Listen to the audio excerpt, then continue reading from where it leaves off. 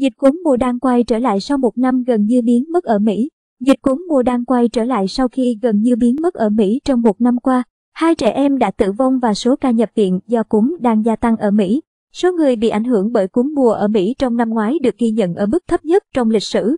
Một phần là do các biện pháp kiềm chế sự lây lan của COVID-19 như đóng cửa trường học, giãn cách xã hội, sử dụng khẩu trang và các hoạt động đi lại bị hạn chế.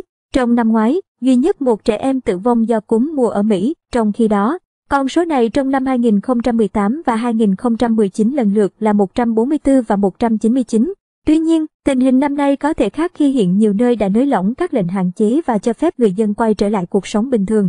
Các chuyên gia y tế cho biết tình hình đáng lo ngại hơn khi khả năng miễn dịch tự nhiên với virus cúm ở nhiều trẻ em Mỹ còn rất thấp. Theo dữ liệu mới nhất, cúm mùa đang diễn ra nhiều nhất ở thủ đô Washington và các bang có hoạt động cúm mùa cao hiện nay bao gồm New Mexico, Kansas, Indiana, New Jersey, Tennessee, Georgia và Bắc Dakota. Lynette Tromer, chuyên gia giám sát các bệnh giống cúm thuộc Trung tâm Kiểm soát và Phòng ngừa Dịch bệnh Mỹ, cho biết virus cúm trong năm nay khiến bệnh nhân nhiễm bệnh nặng, chủ yếu ở người cao tuổi và trẻ nhỏ. Theo bà Bremer, biện pháp tốt nhất hiện nay là tiêm phòng để phòng ngừa lây nhiễm cúm trong bối cảnh các bệnh viện đã quá tải để điều trị cho các bệnh nhân COVID-19. Bệnh cúm và COVID-19 xuất phát từ các loại virus xuyên biệt nhưng thường có những triệu chứng tương tự như sốt, ho và ớn lạnh.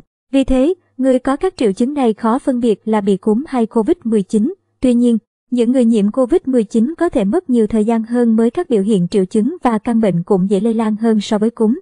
Mất vị giác hoặc khứu giác, triệu chứng xảy ra ở một số người khi nhiễm COVID-19 cũng có thể là một dấu hiệu để phân biệt. Các bạn nhớ đăng ký kênh và bật chuông thông báo để nhận được video mới sớm nhất nhé.